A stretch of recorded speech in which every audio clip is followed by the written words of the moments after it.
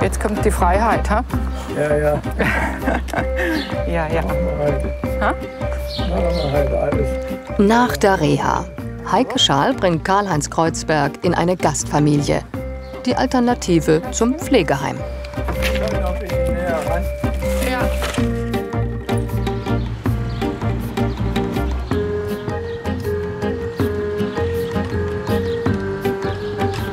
Aber ich mache das total gern. Ich finde das total spannend immer. So, also es, es, oft ist der Erstkontakt entscheidend. Weil ich denke, je länger man das macht, umso mehr vertraut man im Gefühl. Würde die zusammenpassen? Was wünschen die sich? Der 92-Jährige hat sich eine junge Familie gewünscht. Ich wollte nicht ins Seniorenheim, wo ich dann den ganzen Tag auf dem Treppenabsatz stehe mit dem Rollstuhl. Äh, ich wollte noch ein bisschen Leben haben, um mich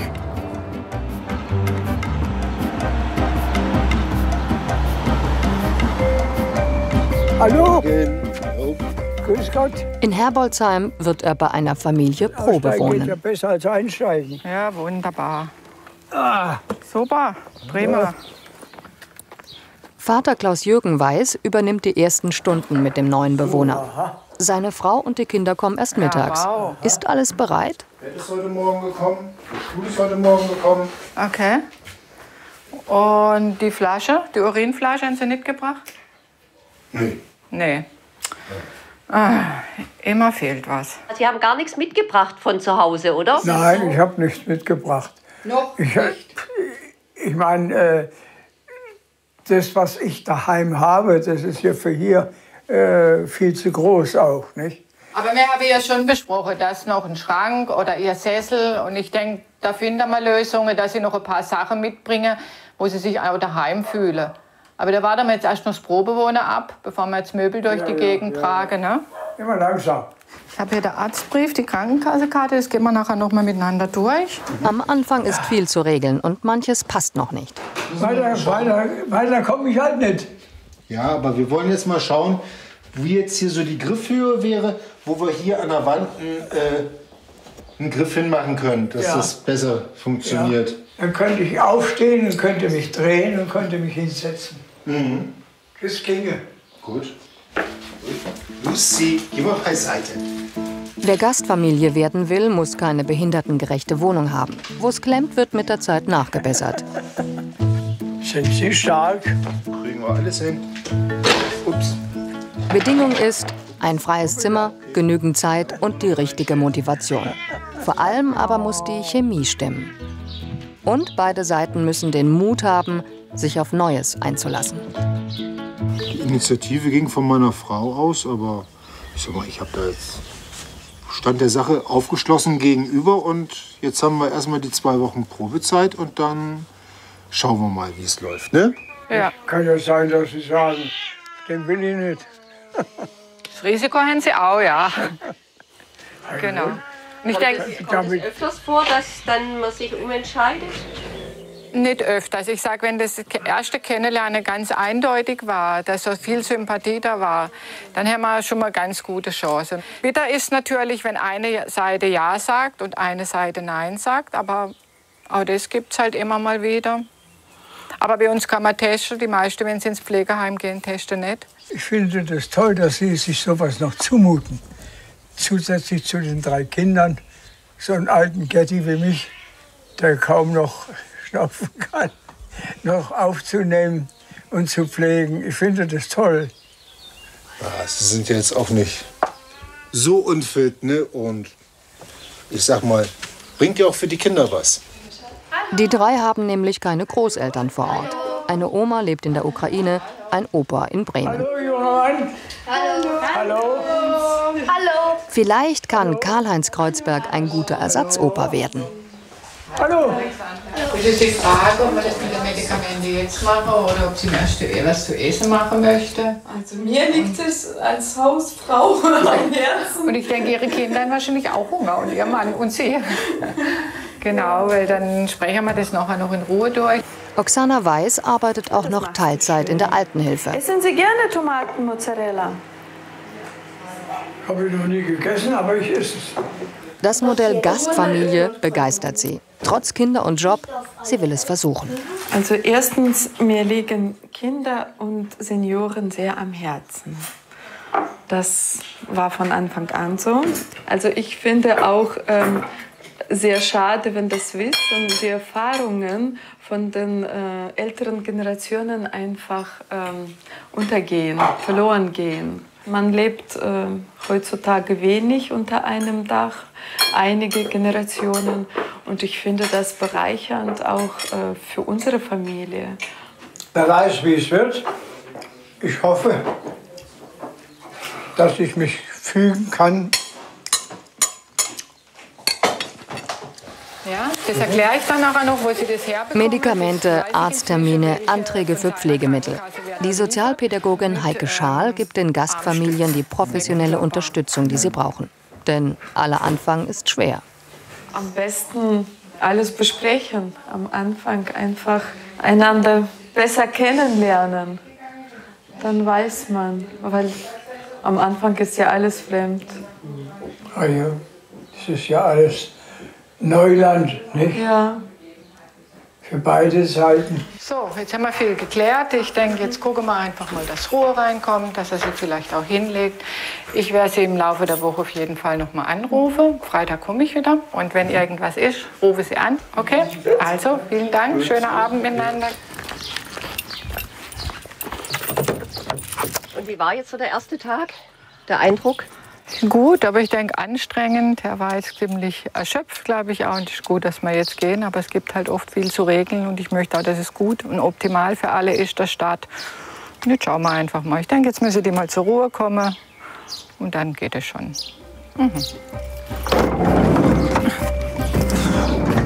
Heike Schals Fachdienst nennt sich Herbstzeit. Das Büro ist in Offenburg. Ja, alle Späterware wie immer. Jeder neue Einzug wird im Team besprochen. Kreuzberg. Kreuzberg. Schau mal, Heike, da die Urinflasche aus dem Sanitätshaus. Ja, super. Hätte geklappt. Ja, wunderbar. Und vor allen Dingen muss man. Alle denken mit. Herbstzeit ist eine gemeinnützige GmbH, tätig in der Ortenau und dem Landkreis Emmendingen. Eng vernetzt mit Sozialhilfeträgern und Landratsämtern. Qualitätssicherung ist oberstes Gebot. Der Austausch im Team dabei ganz wichtig. Also zum einen, man lernt man aus jedem Fall, weil jeder Fall ist neu und es kommt wieder was dazu, wo jeder sagt, ah, das kann ich im nächsten Fall gebrauchen. Dann geht es auch darum, da wir die Bereitschaft rundherum wechselnd haben, dass auch alle Bescheid wissen. Und ich denke, es ist auch ganz gut, wir sind ein kleines Team und arbeiten eng zusammen, sodass jeder auch mal einspringen könnte oder mal noch eine Idee hätte, man könnte da noch was oder dort noch was. Oder man übersieht ja manchmal auch was, so im ganzen Trubel und dann können die Kollegen auch mal noch was ergänzen. Neue Familien werden immer von zwei Mitarbeitern ausgesucht. Ist die Probezeit vorbei, schauen Heike und ihr Team alle drei Wochen nach ihren Familien. Über 40 sind es aktuell. Jetzt fahren wir in schöne Kinzigtal zu der Familie Fehrenbacher. Die wohnen so ein bisschen außerhalb auf dem Hof. Und das finde ich eine ganz tolle Familie, weil es eine Tradition gibt. Das heißt, die Mutter von der Frau Fehrenbacher hat auch schon immer Bewohner oder Bewohnerinnen von uns. Die junge Familie hat gerade erst neu gebaut und mittlerweile zwei Bewohner.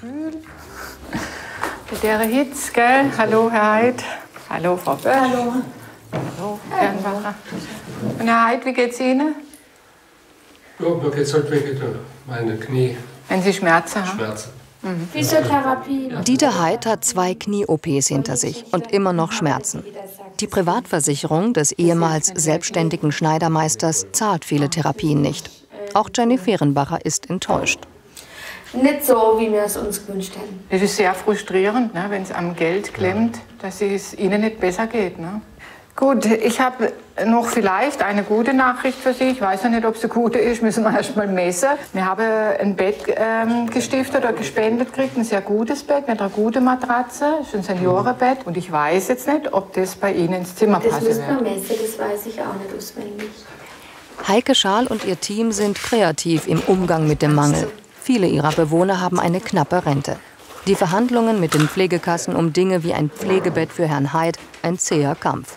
Dabei kostet die Betreuung im Herbstzeitmodell nur halb so viel wie im Pflegeheim. Also es wäre ein bisschen mehr, weil ja der, der Rahmen noch dazu kommt. Ja, aber Mit selbst wenn es äh, 1,30, ja, 1,40. ja, das geht. Das geht gut. Ja, das ist eben ein Senioren, äh, ein Pflegebett kriegen sie keins genehmigt. Ne? Und dieses Seniorenbett hat eben auch eine elektrische, also kann auch Matratze hoch machen oder so. Und wenn man dann das Kopfteil hoch machen kann, ich glaube, kann man sogar die Füße hoch machen und so, dann können sie auch besser aufstehen. Ne? Heike Schaal nimmt sich Zeit für ihre Familien. Die haben sie selber genäht. Ja. Man sieht, es ist kein Etikett drin. Ne? Und würde sie sich das heute noch zutrauen? So ganz von vornher nicht. Ja? Ne. Aber wenn sie vielleicht anfangen, kommt es wieder. Maria Bösch wohnt seit letztem Dezember bei den Fehrenbachers. Mehr als zwei Bewohner pro Familie vermittelt Herbstzeit nicht. Es soll ja familiär bleiben. Oh, was machen Sie? Basteln.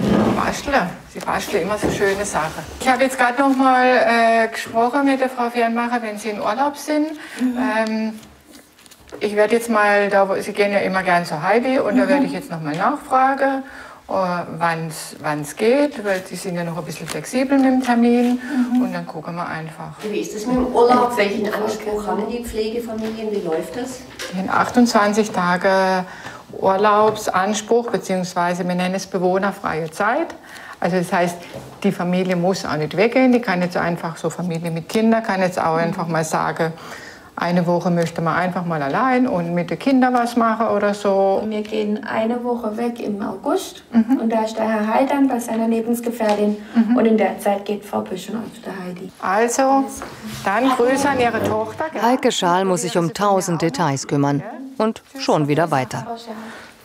So, tschüss, Herr Heid, machen Sie es gut. Gell? Wir bleiben, um noch ein wenig Alltag mitzuerleben. Und ist auch geschafft. Jawohl. Haben. Jenny Fehrenbachers Mann Markus kommt von der Arbeit. Beide kommen aus Großfamilien. Ja, hallo. Ich gehe mal zum Tiere, etwas trinken. Markus, Hier ja. warm. gewesen. Aber kein Bier, gell? Nein, nein, wir trinken Brot. Der gibt später. Dass eine Wohnung im neuen Haus barrierefrei wird, war bewusst geplant. Wie immer. Der hat mal lustige Technik rausgefunden, gell? wie es am besten geht. Für später, für die Eltern und vorher eben für Herbstzeitbewohner. Jenny ist Sozialpädagogin, momentan aber in Elternzeit. Maria hat Linnisch gekommen. Die kleine Friseuse. Etwa 1000 Euro pro Monat erhält eine Familie für den Unterhalt eines Bewohners. Wird er noch gepflegt, kommt das Pflegegeld obendrauf. So, und Madeleine hätte ja schon den Stock. Ja, Dann legen wir das mal da hoch. ich sitze dann dort. Weil Man kriegt aus verschiedenen Töpfen auch ähm, Geld einfach. Allein schon Miete, Verpflegung, solche Dinge und auch bei Pflegestufe dann das Pflegegeld. Das ist schon auch eben hilfreich, wenn man halt auch gebaut hat, klar. Die finanzielle Seite darf man nicht vergessen. Aber nur vom, fin- wegen Finanziellen braucht man das nicht zu machen. Also man muss wirklich dafür leben oder das auch gern machen, weil schon, also man wird nicht reich davon. Dieter Heid hat seine alte Nähmaschine von zu Hause mitgebracht.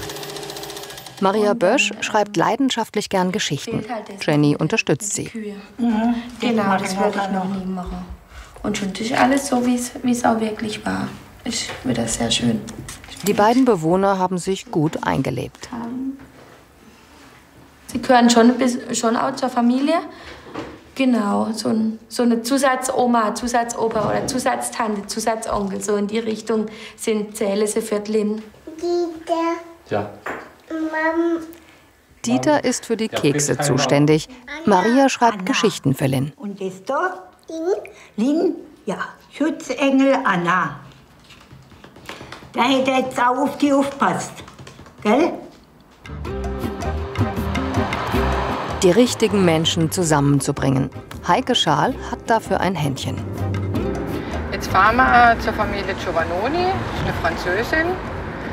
Und die hat zwei Bewohnerinnen von uns. Das eine ist eine Frau, die hat sie jetzt schon ein paar Jahre. Das war eine Frau nach Schlaganfall. Und dann hat sie noch eine zweite Bewohnerin inzwischen, die eine Suchtproblematik hat.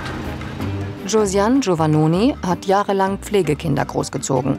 Dann hat sie sich für Herbstzeitbewohner entschieden. Oh, Sie haben Sie nett hier in der Sonne. Guten Morgen, Frau Lindemeyer. Guten Morgen, Frau Giovannoni. Hallo, Hallo, Frau guten Kaiser. Tag oder guten Morgen. Frau Kaiser, wie geht's Ihnen heute? Mir geht's gut. Ihnen geht's gut? Ja, ich komme mit der Josiane äußerst, äußerst klar. Mhm. Und auch so das Umfeld. Und ich meine, aufgrund meines Alkoholproblems habe ich mich wieder so weit gefestigt. Und ich will auch nicht mehr zu dem Bier greifen. Also ich fühle mich wohl. Mhm. Und das ist auch kein Problem. Sie müssen auch gar nicht gucken, dass Sie sich irgendwas heimlich kauft. Das ist jetzt echt so stabil, ne? jetzt auch schon lange Zeit. Das hat, da hat das ist toll, auch, glaube ich, gar keine Angst. Nee. Gell? Also ich brauche nicht Angst haben. Ja. Ich kann in mein Fitnessstudio gehen. Ich lasse die beide alleine. Ich mache äh, das, was ich äh, machen muss in der Früh. Und dann äh, denke ich ein bisschen an mich. Also wir müssen jetzt mal noch sprechen wegen Ihrem Antrag auf orthopädische Schuhe. Gell? Da kam jetzt ein Ablehnungsbescheid. Ich muss gerade mal gucken. Man kann innerhalb eines Monats kann man Widerspruch einlegen. Ja, und ich denke, man sollte nichts äh, unversucht lassen, dass man vielleicht noch mal Fortschritte erzielen kann. Ne? Ja Also mir ist egal, ich kämpfe für sie. Also und sie kämpfen gell, wir miteinander. Mit 57 hat ein Schlaganfall Elvira Lindenmeier aus dem Alltag gerissen. Sie landete im Altenheim, saß im Rollstuhl. Mehr nach links, genau so, ja. Seit sie hier ist, kämpft sie, auch mit der Treppe. Gerade ist der Lifteffekt. Entweder gehe ich kaputt oder du, gell? Hoppla. Und hat auch noch Angstzustände dann. Sie hat schwer zu schnaufen und jetzt gebe ich ihr gleich seine. Auch noch Asthma. Der Treppenlift muss schnell repariert werden. Denn das Zimmer hier oben ist ideal, weil sie mittlerweile alleine ins Bad nebenan kann. Also äh, ich sage Ihnen ganz ehrlich, die war äh, in Anfang so faul, dass mir ein Klo ge äh, gebracht hat neben das Bett. Und die hat mit mir den Clown gemacht. Am 2 aufgeweckt, am 4 aufgeweckt. Weil ich sie zu viel, wie sagt man denn, beduttelt habe. Und so, oh, die Arme und und und. Und dann habe ich gesagt, so, jetzt ist Schluss. Aber war das richtig, dass sie so eine Ansage gemacht hat? Musste sein. Warum? Das habe ich ja auch gesagt, weil ich das ab und zu mal brauche, dass ich einen Gong kriege. Dass ich wieder weiß, wo ich daheim bin. Oder? Rau, aber herzlich. Josiane Giovannoni bringt ihre Bewohnerin auf Trab. Ich bin sowieso eine Kokette. Du könntest ruhig mal dich wieder rasieren, gell? Mach mal den Mund.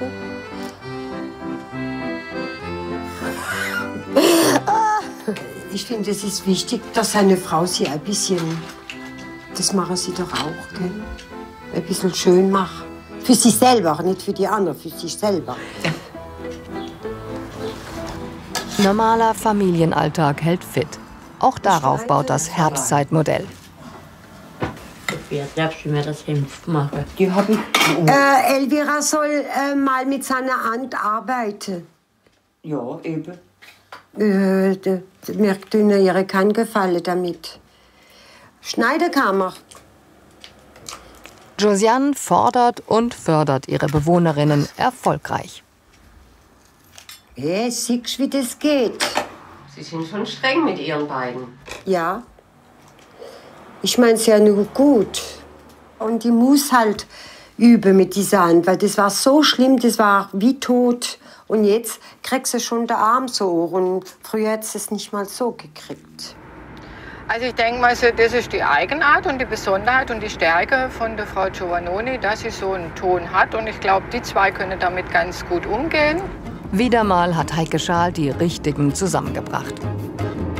Ich finde es einfach eine tolle Arbeit. Ich, da liegt mein Herzblut drin, schon immer, weil es ist einfach so toll, auch wie sich Leute engagieren. Es muss ja auch so eine Win-Win-Situation sein. Es ist ja nicht nur, dass der alte Mensch profitiert, sondern auch die Familie profitiert. Die kriegt Anerkennung, die haben eine Beschäftigung, die ihnen Spaß macht, die verdienen was dazu. Und es hört ihnen auch jemand zu. Wir kommen ja auch regelmäßig, wir arrangieren alles so Heike Schaal und ihr Team sehen sich als professionelle Partner ihrer Familien, knüpfen das Pflegenetzwerk. Hallo Maria. Hallo. Ich heiße Oh, je. in Hasle wie bei uns. Maria Bösch kommt vom Gruppentreff. Zweimal die Woche geht sie zur Caritas im Kinzigtal. Auch Dieter Heid wird es demnächst ausprobieren. Das entlastet die Familie. Aber dann haben wir noch gesungen. Oh, der Kirschen esse ich gern, schwarze noch viel lieber. In den Kindergarten gehe in die ich gern, alle Tage lieber. Also momentan ist es, ist es gerade sehr harmonisch in Bezug auf Maria. Ihre geht es echt gut, aber wir haben auch schon andere Zeiten. Und Ja, wenn ich halt Depression habe, das, das ist dann schlimm. Das ist wie ich wieder im Kopf, sagt man, sind Depressionen. Also auch wenn sie dann depressiv ist Ja. und im, nur im Bett liegen will und ich gebe ihr so in Anführungsstrichen mal Tritt, so ein bisschen Maria, komm jetzt, kannst noch eine Stunde liegen bleiben, aber dann stehe ich wenigstens zum Essen auf, obwohl du nichts isst. Und Soll ich dann, äh, und dann sagt sie im Nachhinein, hast ja recht, Kid. Großfamilienalltag. Wenn Ehemann Markus, Vater und Schwiegervater am Wochenende Holz machen, geht Jenny Fehrenbacher mit allen zum Festspann vorbei. Langweilig wird es hier keinem.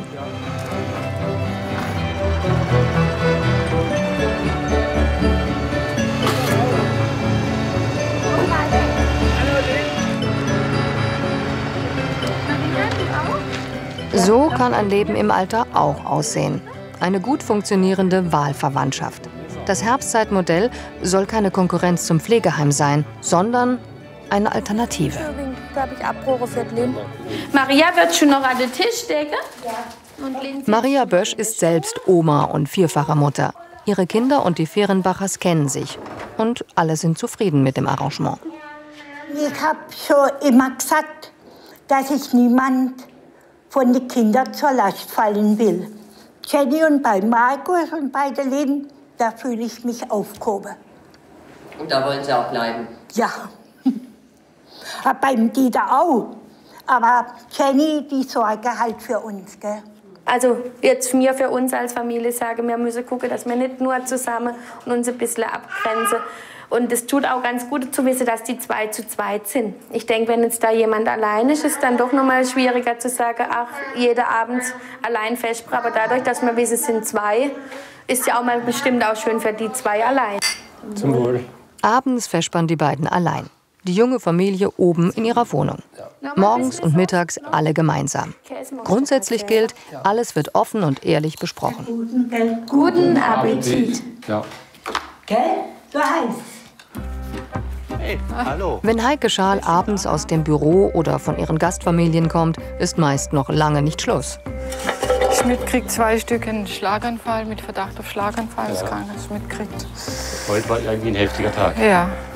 Ah, hast du das Fax gekriegt, wo ich angerufen habe wegen dem Lieferung? Genau, das war ja Ihr Mann Clemens Jörger arbeitet auch bei Herbstzeit. Er betreut den Landkreis Emmendingen. Und wann ist Feierabend daheim in Kippenheim? Ein Stück weit machen wir ja auch das oder wollen das machen, was man von unserer Familie erwartet. Die leben ja diesen Alltag auf 24 Stunden miteinander. Und dann können wir nicht andererseits sagen, ja, wir haben nur 17 Uhr Feierabend. Und wenn ihr dann noch was wollt, ja, dann guckt einfach, wo er bleibt. Aber das passt. Das Ja, passt für uns. Genau. Die beiden Sozialpädagogen sind mit Leib und Seele dabei. Sie erleben immer wieder Überraschungen, wer zu wem passt und was alles funktionieren kann. Am Anfang haben wir auch so Familie ausgewählt, immer so nach dem Gesichtspunkt, würde ich da gern wohnen. Darum geht es gar nicht. Die Menschen sind so unterschiedlich. Da muss auch nicht immer ein geschleckter Haushalt sein oder so, weil die sind ja auch die Bewohner so unterschiedlich und die müssen miteinander können und darum geht's. Hallo. Hallo. Hallo. Besuch bei Familie Weiß. Heike Schaal hat mehrfach mit Oksana Weiß telefoniert, denn Karl-Heinz Kreuzberg war kurz nach dem Einzug vor drei Wochen erst mal krank. Oh, ein Wissensspiel. Und es gibt noch einen freien Stuhl. Oh, oh, oh, oh, oh. Soll ich mich jetzt, jetzt hier blamieren? Dann sind Sie nicht alleine. Dann sind Sie nicht alleine. Mittlerweile ist der 92-Jährige wieder gesund. Das Probewohnen vorbei. Hat er sich gut eingelebt? Und wie haben sich beide Seiten entschieden?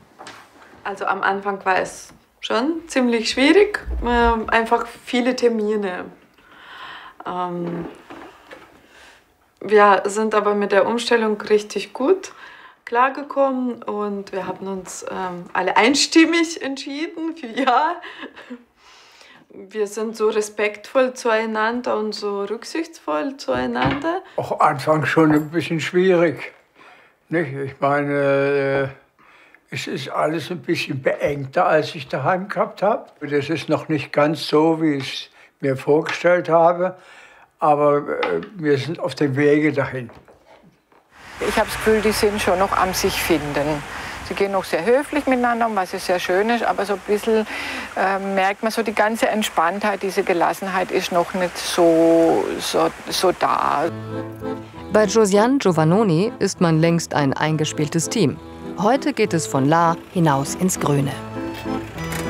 Elvira Lindenmeier ist stolz über jeden Schritt, den sie mittlerweile wieder selbstständig gehen kann.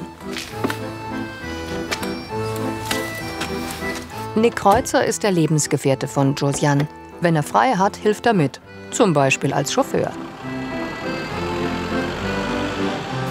Als Gastfamilie kann sich jeder bewerben, egal ob man Single, Paar, Patchwork oder Großfamilie ist.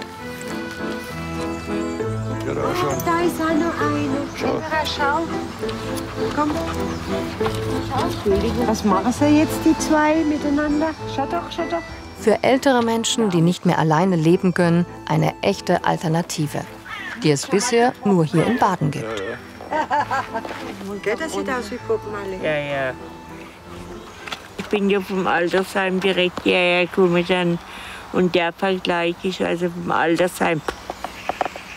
Wenn du dann so jung bist, gell, und dann nur die älteren Leute, bis du da mal jemanden gefunden hast, mit dem du reden hast können. Mittlerweile ist sie so gut drauf, dass sie eigenständig runterkommen kann, im Garten sitzen. Von Alltagsbetreuung bis zur Komplettpflege. Was eine Gastfamilie leistet, ist ebenso unterschiedlich wie die Bedürfnisse der Bewohner. Es muss nur passen. Ich kann nicht alles machen. Das ist- ich gebe es einfach zu. Aber das, äh, das passt gerade gut. Es sind wie zwei Freundinnen, die bei mir wohnen halt. So. Ist also genau so, wie ich es irgendwie mir vorgestellt habe. Und ich bin froh, dass ich da bin. Also schon WG. Aber wir verstehen uns, oder nicht? Teils, teils. Jetzt teils jetzt. Ja, es passt schon. Ich hoffe, dass die mir lang noch bleiben. Hallo. Heike Schaal macht heute einen Gastfamilienbesuch in eigener Sache. Hallo. Hallo. Familie Markstahler betreut ihren Schwiegervater. Hallo. Guten Morgen. So, und? Munter. Munter, ja. Und du? Was man sieht. Was sie muss Musik, gell? Schmerzen habe ich jetzt nicht mehr so arg. Okay. Wir sehen tue ich ja nichts mehr. Sehne tust nichts. Also, Der 90-jährige Josef Jörger ist bei Silvia Markstahler in erfahrenen Händen. Sie ist schon lange bei Herbstzeit aktiv und gibt den alten Menschen das Gefühl, daheim zu sein. So, gut. Gut. Jetzt gucken wir mal nach dem Zeh, ist recht? Zuvor hat sie Josef Jörgers Frau betreut. Sie war dement. Bis zu ihrem Tod hat Familie Markstahler sie bei sich zu Hause gepflegt.